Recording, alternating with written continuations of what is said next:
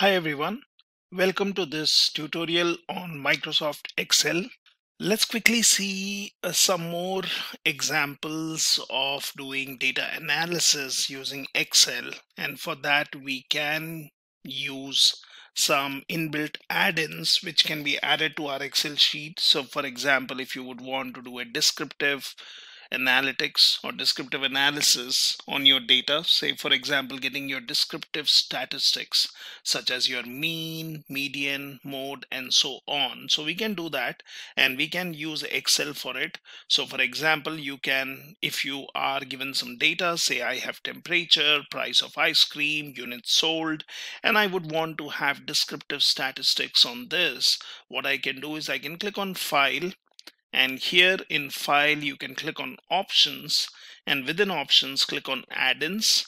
Now within add-ins you have excel add-ins which is selected here.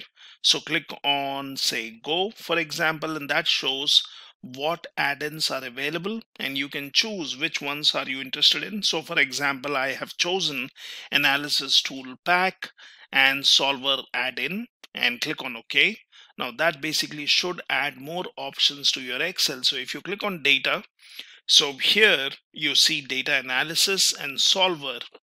And this is what we would want to use to get our descriptive statistics for these three columns. So for example, let's say temperature, or you can even give the names later once you get your descriptive statistics. So for example, let's go for data analysis and here it says what are you interested in? There is a two factor with replication. You have correlation covariance descriptive statistics. You have histogram. So let's click on descriptive statistics. Click on ok.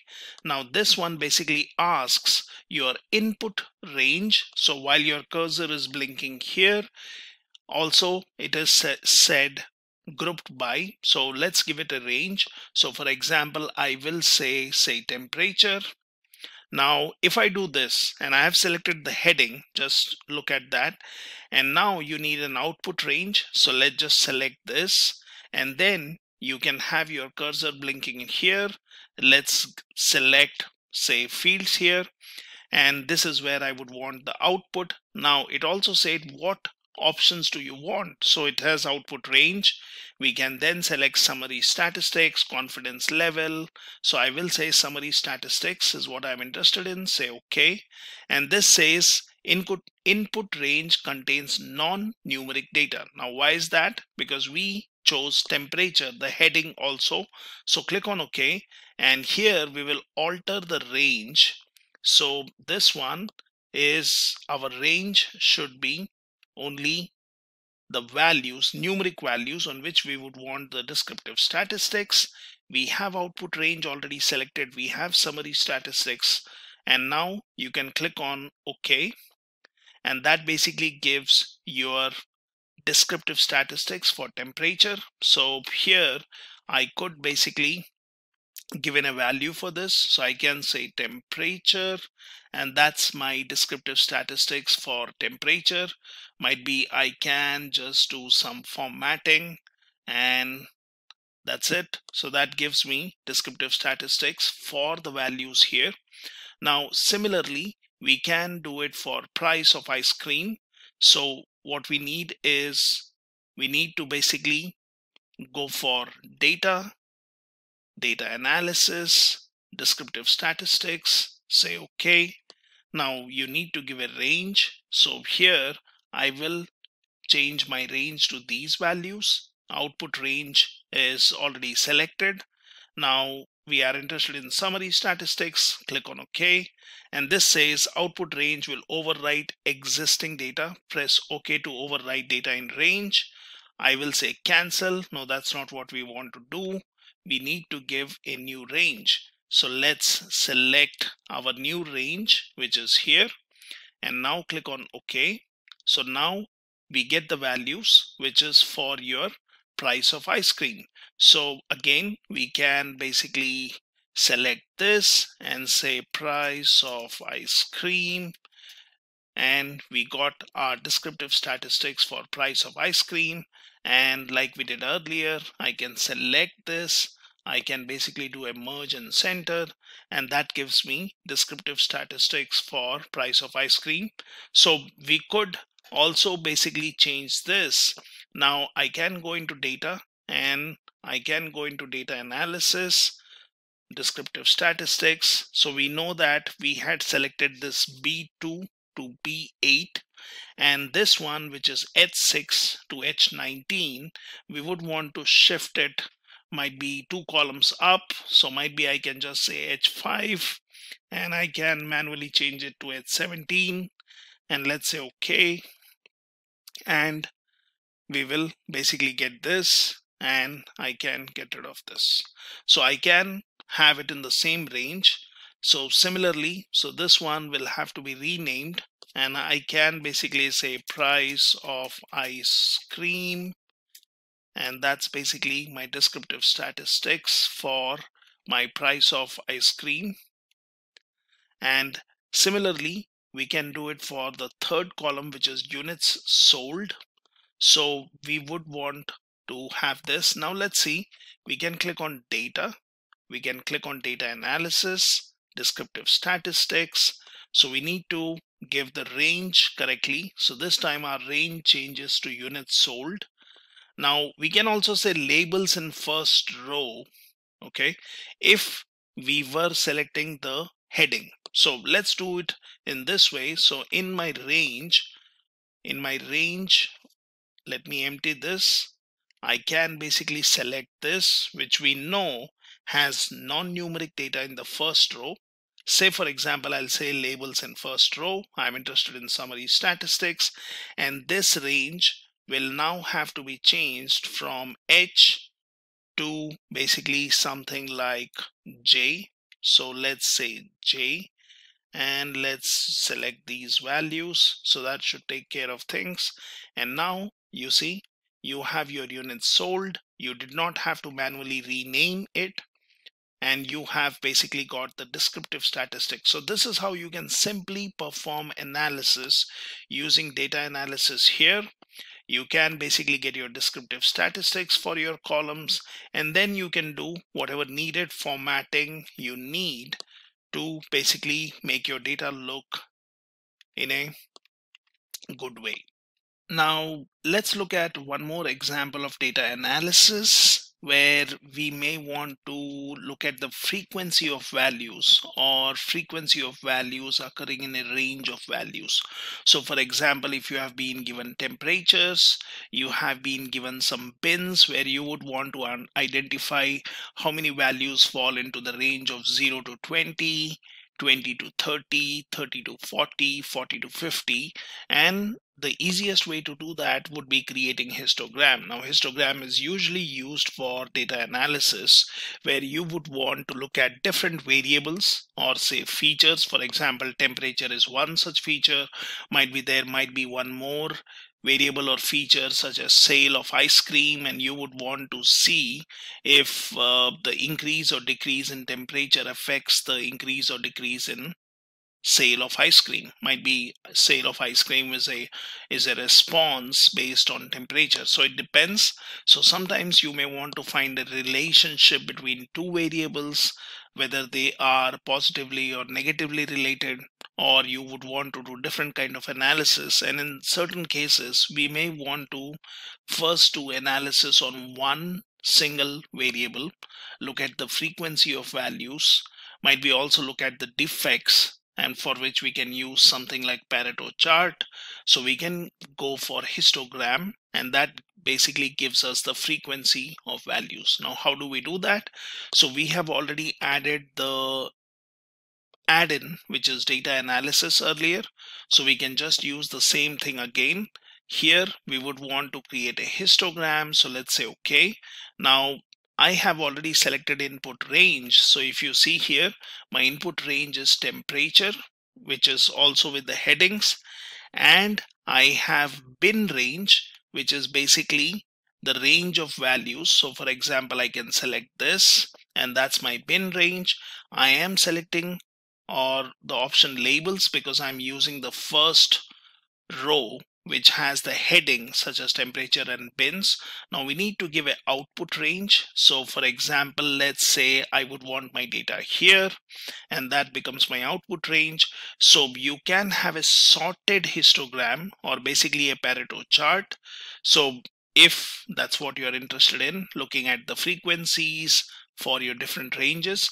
And here I'm also selecting chart output because I would want to have a visual histogram which gives us the frequency. And it's as simple as this. Just click on OK. And now you get your bins. So it basically tells you frequency of values which is basically 20 but that does not mean it is only talking about the values 20 it is basically talking as a range of 0 to 20 so we have 0 to 20, that is 2. So we can basically say there is 120 here with the 20 being the maximum value and then there is one more 20. So that's your 0 to 20. Then you have 20 to 30 which shows three values. So might be in that case I can say 26 is one thing. Then I can say 30. That's the second one. And then basically I can look at 22. So Basically, this one does not select 20 as the lower range, but it basically selects 30 as the higher range. So I do see 20 to 30, there are three entries. Similarly, we can see values for 40 and 50. And since we have selected Pareto or sorted histogram that shows in a descending order, what is the highest frequency of values within a particular range. So that shows me highest frequency is 5 and then you have 3 and 3 and then 2. So this is how we can create a histogram and we can perform analysis on a single variable.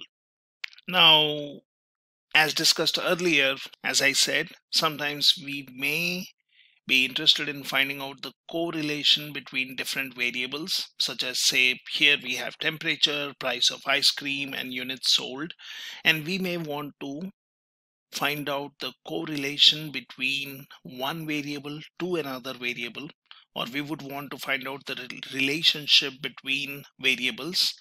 Are they linearly related? Are they positively related negatively related and so on? And for that we can use the correlation of your data analysis add-in. So for example you want to find out correlation of temperature and units sold. And what we can do is we can find out that using a formula. So for example, if I search for something like correlation and let's search. So there is a function called correlation which we can use and we can use this to calculate the correlation of temperature and units sold. So for example, let's select this and that's the function. So it says give me an first array and a second array. So we are interested in finding out correlation of temperature and units sold. So let's select the range of values for temperature and then I'm interested in finding out the correlation of temperature and units sold. So let's select this and that basically gives me a range of values. It gives me the correlation value which is 0.2859 say okay and that's your value. So similarly we can do it for temperature and price ice cream.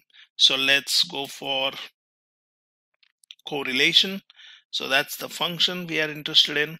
You need to give a range of values. So here we are interested in temperature and price of ice cream. So let's select temperature. And then the second array or list of values is price of ice cream. Let's select that.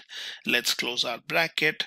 And here we have the correlation value of temperature and the price of ice cream. Similarly, you may be interested in finding out temperature and units sold like what we have done earlier. So we can do the same thing based on function. So this is same as correlation of temperature and units sold. So I can get rid of this one. Now, how do I do it using the data analysis add-in? So for that, what we need is we need to go into data. We need to go click on data analysis. And here you have the option called correlation. Let's select this. Now that basically needs an input range. So we need the range. Now I might be interested in finding out the correlation between temperature and price of ice cream and units sold. So I've selected all the columns here. we will say group by columns. Obviously, we need to select labels in first row because that is basically taking care of the first row as heading. Now output range, you can just give one simple cell and that's where your data will start from. Or you can give a new workbook. So click on OK. And that basically gives your that basically gives your correlation of your different variables and what are the values. And we can check these values based on the values what we have here. So we have basically temperature and price of ice cream. And that basically shows me 0.96149 you have temperature in units sold so you have 0.2859 now you can also look at units sold and say for example price of ice cream. You can look at these particular values. So if I would be interested in finding out what is the relationship between these variables, I can easily find using correlation. So I could be basically writing in a formula here and selecting what are the cells. So here we were selecting A2 and C. Here we were selecting A and B. Now might be I'm interested in price of ice cream and units sold and if that's what I'm interested in then I will give a range of B2 to B8 C2 to C8 and similarly you can get your analysis or correlation values so it's very simple in Excel and you can use either the data analysis tab and get your correlation or you can use formulas and do that now, one more important part of data analysis is doing your sampling. Now, sampling could be periodic sampling or random sampling. So sometimes you may want to look at a variable and you may want to get some values based on periodic data. That means might be I'm interested in range of values. I'm interested in seeing a sample of values for uh, a particular period which could be basically uh, a range of values or you could just do a random sampling. So for example if I go for periodic sampling so out of these values which I see here might be I want to see say periodic sampling that is a frequency of two values. How many times we have these values occurring here or I would go for random sampling. So basically randomly, I would want to pick up say three temperature values. Now, how do I do it? So for example, here I have seven values. Now, if I go for periodic sampling, the sample or periodic sample value which I need to give has to be lesser than the total input values so for example, we can do this. Let's go in here and let's go for data analysis. So we can go for sampling here, click on OK, and that needs a range of values. So we will select A2 to A8. Now I could have selected all the values for this one, temperature, and in that case I can give labels, which is going to take care of the first row. Now here we can go for number of samples which you are interested in or giving a period. So let's go for period and say for example I have seven values. So what if I select five? So for example if I say five that means I could just get one value. So basically when I'm saying five out of seven so that's just giving me out of five I want one value. So I can then just give an output range so here I can basically select this cell. I'll say OK. And now you see it just shows me one value. So out of the first range, that is, I've said five, it has given me the fifth value. That's your periodic sampling. So for example, we want more values. So let's reduce this period to might be two, which basically gives me every second value. So I can basically say, for example, 2 and say OK and then say OK. So that shows me 26. Then you have 35.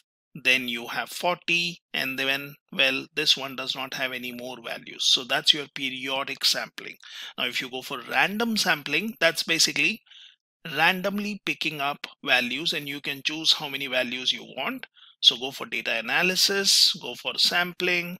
I'll go for number of samples how many you want. So for example out of seven values randomly I want three values. And I can just give this say okay. And then we will do a cancel because we need to change the range. So let's select this and say okay. And that gives me random three values from this values of temperature so we can use excel to do a simple sampling and we can choose whether we would want to go for periodic sampling or random sampling thank you and keep learning Hi there, if you like this video, subscribe to the Simplilearn YouTube channel and click here to watch similar videos. To nerd up and get certified, click here.